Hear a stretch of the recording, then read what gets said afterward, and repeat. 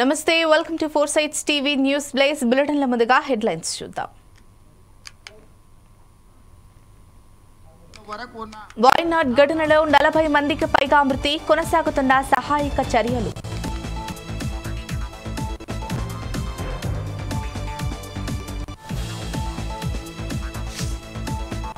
ప్రత్తిపాడు చోరీ కేసును ఛేదించిన పోలీసులు ఐదుగురిని అరెస్ట్ చేసి రిమాండ్కి తరలింపు.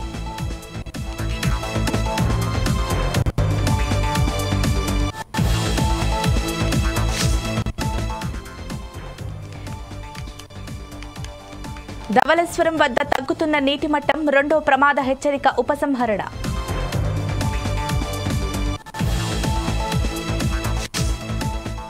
దేశాభివృద్ధి ధ్యేయంగా కేంద్ర బడ్జెట్ ఉంది. అమరావతికి పదిహేను వేల కోట్లు ఇచ్చారన్న జీవీఎల్.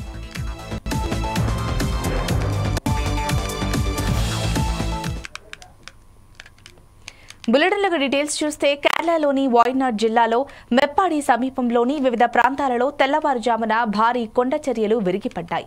ఈ ఘటనలో యాభై మందికి పైగా మృతి చెందినట్లు అధికారికంగా వెల్లడించారు. రల్ల రాష్ట్ర విపత్తు నిర్వహణ దళం అగ్నిమాపక బృందం జాతీయ విపత్తు స్పందన దళాలు ఘటనా స్థలంలో సహాయక చర్యలు చేపడుతున్నాయి. సమీపంలోని ప్రాంతాల నుంచి అదనపు బృందాలు సైతం గాలింపు చర్యల్లో పాల్గొన్నట్లు అధికారులు తెలిపారు. కొండ చర్యల కింద పలువురు చిక్కుకుపోయి ఉంటారని అధికారులు వెల్లడించారు. భారీ వర్షాలు కురుస్తుండటంతో సహాయక చర్యలకు కొంతమేర అంతరాయం కలుగుతుంది. ఈ ఘటనపై దేశవ్యాప్తంగా ఉన్న ప్రముఖులు దిగ్భ్రాంతి వ్యక్తం చేస్తున్నారు.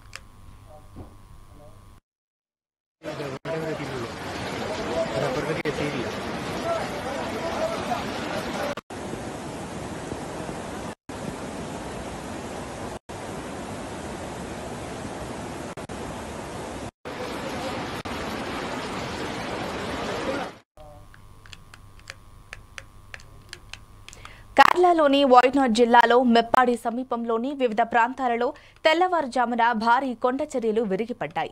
ఈ ఘటనలో యాభై మందికి పైగా మృతి చెందినట్లు అధికారికంగా వెల్లడించారు. రెల రాష్ట్ర విపత్తు నిర్వహణ దళం అగ్నిమాపక బృందం జాతీయ విపత్తు స్పందన దళాలు ఘటనా స్థలంలో సహాయక చర్యలు చేపడుతున్నాయి. సమీపంలోని ప్రాంతాల నుంచి అదనపు బృందాలు సైతం గాలింపు చర్యల్లో పాల్గొన్నట్లు అధికారులు తెలిపారు. కొండ చర్యల కింద పలువురు చిక్కుకుపోయి ఉంటారని అధికారులు వెల్లడించారు. భారీ వర్షాలు కురుస్తుండటంతో సహాయక చర్యలకు కొంతమేర అంతరాయం కలుగుతోంది ఈ ఘటనపై దేశవ్యాప్తంగా ఉన్న ప్రముఖులు దిగ్భ్రాంతి వ్యక్తం చేస్తున్నారు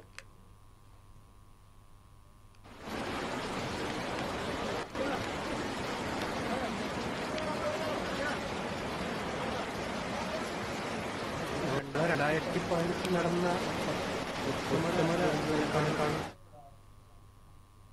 ఏపీలో ఎడతెరిపి లేని వర్షాలు తగ్గుముఖం పడుతున్నాయి. ఈ నేపథ్యంలో ధవళేశ్వరం వద్ద నీటి మట్టం క్రమంగా తగ్గుతోంది. ఇప్పటికే రెండవ ప్రమాద హెచ్చరిక అధికారులు ఉపసంహరించుకున్నారు. మొదటి ప్రమాద హెచ్చరిక కొనసాగుతున్నట్లు వారు తెలిపారు. నూట ఐదు గేట్లను ఎత్తి పన్నెండు లక్షల యాభై వేల క్యూసెక్కుల వరద నీటిని దిగువకు విడుదల చేసినట్లు అధికారులు వెల్లడించారు.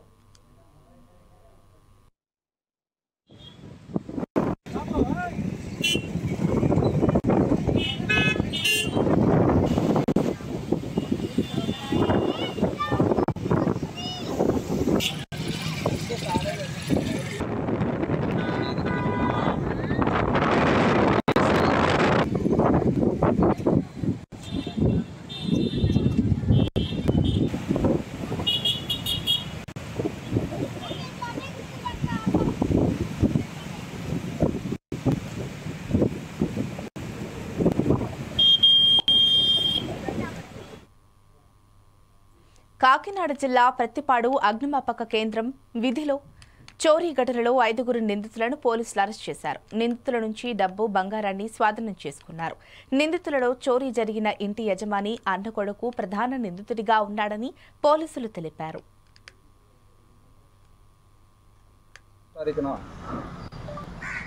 ప్రతిపాడు గ్రామంలో ఫైర్ స్టేషన్ వీధిలో ముచ్చకర్ల అప్పల స్వామి యొక్క ఇంట్లో పట్టుపగలు దొంగతనం జరగడం అందులో సుమారు ఇరవై రెండున్నర కాసులు బంగారం వస్తువులు అదేవిధంగా మూడు లక్షల రూపాయలు నగదు దొంగిలించబడినట్లుగా ఫిర్యాదు రావడం ఆ ఫిర్యాదుపై కేసు నమోదు చేసి జిల్లా ఎస్పీ గారి యొక్క ఆదేశాల మేరకు పిఠాపురం డిఎస్పీ గారు కుమార్ గారి ఆధ్వర్యంలో సర్కిల్ ఇన్స్పెక్టర్ అయిన నేను మరియు మా సర్కిల్ ఎస్ఐఎస్ ఏలేశ్వరం సతీష్ రౌతులు కూడా ఎస్ఐ. అదేవిధంగా ప్రతివాడు ఎస్ఐ వారి సిబ్బంది అంతా కూడా దీనిని ప్రతిష్టాత్మకంగా తీసుకుని మూడు టీములుగా విడిపోయి ఈ కేసు యొక్క మూలాలను శోధించి ఇందులో ఈ దొంగతనాన్ని పాల్పడిన వారిని పట్టుకోవడం జరిగింది. ఈ దొంగతనానికి పాల్పడిన వారు అందరూ ఒక యువకులే. ఎవరైతే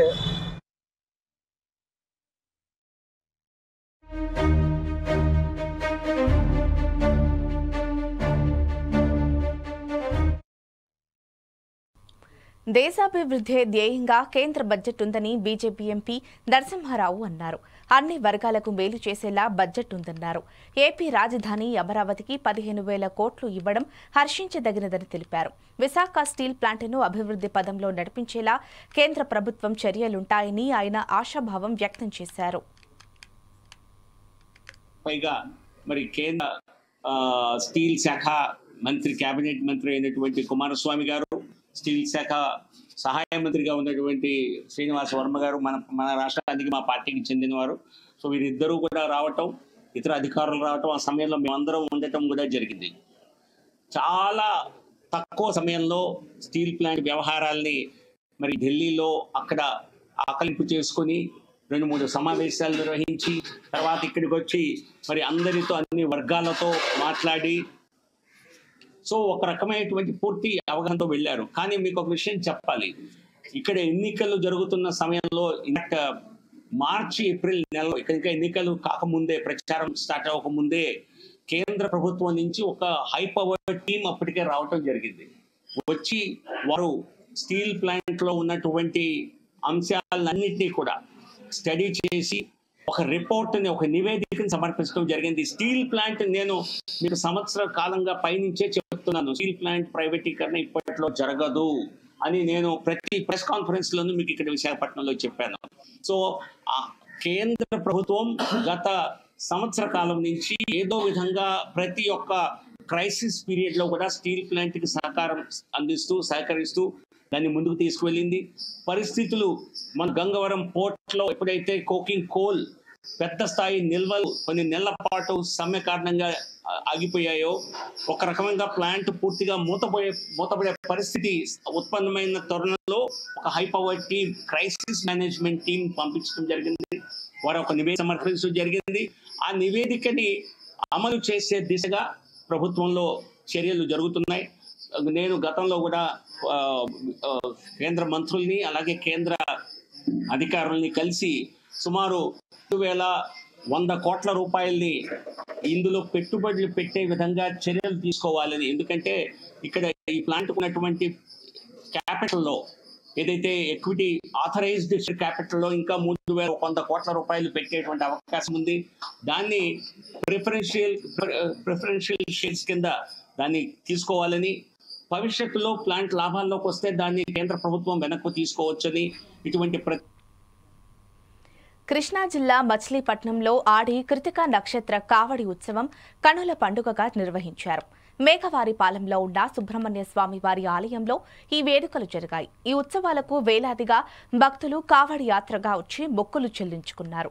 పల్లకిలో ఉత్సవ మూర్తులను ఉంచి ఊరేగించారు. ఈ కార్యక్రమంలో భక్తులు భారీగా పాల్గొన్నారు.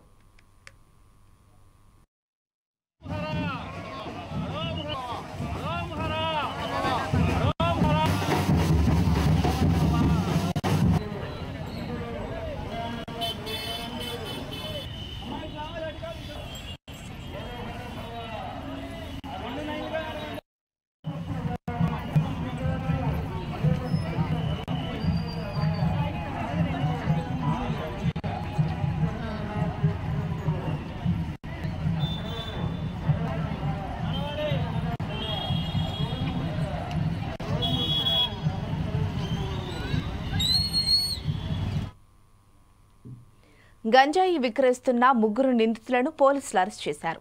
భూపాలపల్లి పోలీస్ స్టేషన్ పరిధిలోని బస్టాండ్ వద్ద గంజాయి అమ్ముతున్నారనే సమాచారంతో తనిఖీలు నిర్వహించారు పోలీసులు. దీంతో గంజాయి అమ్ముతున్నట్లు గుర్తించిన ముగ్గురు నిందితులను అదుపులోకి తీసుకున్నారు.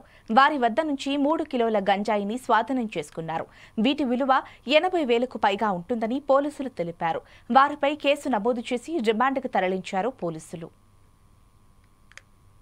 ఉదయం ఆ, ఇన్ఫర్మేషన్ భూపాలపల్లి ఎస్ఐ సుధాకర్ తన ఫోర్స్ తోటి వెజిటేబుల్ మార్కెట్ భూపాలపల్లిలో వెహికల్స్ చెకింగ్ చేస్తుండగా ఒక త్రీ పర్సన్స్ అనుమానాస్పదంగా ఆడ దొరికిన వాళ్ళను చెక్ చేస్తే పేర్లు ఏమంటే వాళ్ళు దేవర కిషోరు అతను మన కాసిపల్లి భూపాలపల్లి అదేవిధంగా మోకిడు అజయ్ ఇతను కూడా Kasipalli Bhupalpalli proper third person రెడ్డమైన wine చెప్పి ఇతన్ని రంగాపూర్ హుజరాబాద్ దగ్గర వీళ్ళ ముగ్గురు దగ్గర కూడా three kgs three hundred thirty five grams కూడా దొరకడం జరిగింది. సో ఫర్దర్ ఇన్వెస్టిగేషన్ చేస్తున్నాం దీనికి మానిటరింగ్ చేసిన ఎస్ఐ గారిని తర్వాత సువర్కర్ ఎస్ఐ ప్రసాద్ ఎస్ఐ గారిని కూడా అప్రిషియేట్ జరిగింది. భవిష్యత్తులో కూడా భూపాలపల్లిలో ఎటువంటి గాంజాయి కూడా లేకుండా అనకాపల్లి జిల్లా కోలుకొండ రావణపల్లి రిజర్వాయర్ను స్పీకర్ అయ్యన్న పాత్రుడు సందర్శించారు. దీనికి సంబంధించిన పనులపై ఆరా తీశారు. నర్సీపట్నంలోని అంబేద్కర్ గురుకుల పాఠశాల విద్యుత్ మరమ్మతులకు లక్షా యాభై వేల ఆర్థిక సహాయం అందజేశారు.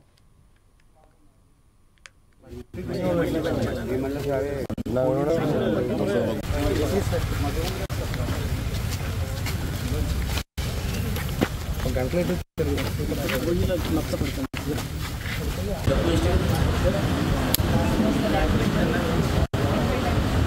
అకౌంట్లో అందులో మా ఓసీ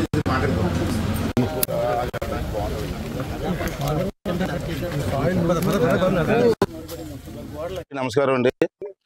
ఇది రమణాపల్లి రిజర్వాయర్ మీ అందరూ తెలిసిందే. ఈ రిజర్వాయర్ ఇప్పుడు పూర్వీకుల దగ్గర నుంచి ఉంది. మా టైంలో కాదు అయినప్పటికీ కూడా రిజర్వాయర్ కింద ఈ చిట్టు కింద గ్రామాలన్నీ కలిపి చెట్టుపల్లి కానీ కొత్తూరు కానీ అలాగే అన్ని కలిపి సుమారు నాకు తెలిసి మూడు వేల ఎకరాలు ఉంటుంది సాగు. బలిగట్టు ఏరియా కానీ అన్ని కూడా. ఇది చాలా మందికి మూడు వేల ఎకరాలు సాగు చేసే మంచి రిజర్వాయర్. పైనుంచి వాటర్ కూడా మనకు ఎక్కువ వస్తుంది కాబట్టి ఎప్పుడు కూడా ఈ రిజర్వాయర్ కింద భూములు బాగుంటూ ఉంటాయి లాస్ట్ టైం నేను మంచిగా ఉన్నప్పుడు ఈ రిజర్వాయర్ లైనింగ్ కాలువ లైనింగ్ కూడా చేశాను. చాలా వరకు అంత పూర్తిగా ట్వంటీ పర్సెంట్ ఎంత ఉండిపోయి ఉంటుంది. మొత్తం పూర్తి చేసాం. అయితే మొన్న కురిసిన వర్షాలకి ఈ ఇప్పుడు చూసిన మధుని దగ్గర ఒక పెద్ద కన్నంలా పడి కుడకాలు కుడకాలు అంటారు దీన్ని. ఇది మొత్తం ఫ్లో అయిపోయింది. ఇది అన్ని మనం చూసుకున్నారు కాబట్టి సరిపోయింది. లేకపోతే ఇక్కడ ఉన్న ఇళ్ళన్నీ పోతాయి. చాలా ఇబ్బంది అయ్యేది. మళ్ళీ అంత అంతా ఎలర్ట్ అయ్యారు. మట్టి పోసి మళ్ళీ కప్పెన్ చేశారు. దీనికి ఇమీడియట్గా మొదన్ని మళ్ళీ మోడరేట్గా తయారు చేయాల్సిన అవసరం ఉంది. దానికి ఎంత అయితే అంత కలెక్టర్ గారికి ఇరిగేషన్ డీ గారు రాస్తారు. ఆల్రెడీ కలెక్టర్ గారి దృష్టికి వెళ్ళింది ఇది. అలా కాకుండా పర్మనెంట్ ఏమన్నాం టెంపరీ కాదు. టెంపరీ చేసి వదిలేస్తారు. అలా పర్మనెంట్ ఏమన్నాను నేను కలెక్టర్ గారితో మాట్లాడతాను అది కాకుండా ఈ రిజర్వాయర్కి గేట్ ఉంటుంది. గేట్ మూసి ఉంటుంది. ఉడుపుల టైంలో గేట్ లిఫ్ట్ చేస్తూ ఉంటాం. మెయిన్ గేట్ మెయిన్ గేట్ కానీ గత ప్రభుత్వంలో ఎవరు పట్టించుకోలేదు. పెద్ద కన్నం పడిపోయి నీరంతా పోతుంది. ఇప్పుడు మొన్న నేను ఒక రెండు పదిహేను రోజులు ఇరవై రోజుల క్రితం పిలిచాను. పిలిచి దానికి ఎస్టిమేషన్ ఏమన్నాను? అదే మధు పొర్లు మధు ఉంటుంది. పొర్లు మధు కూడా శిథిలావస్థకు వచ్చేసి ఇవి ఇప్పటి వరకు అప్డేట్స్ మరిన్ని అప్డేట్స్ కోసం చూస్తూనే ఉండండి. Four sights TV.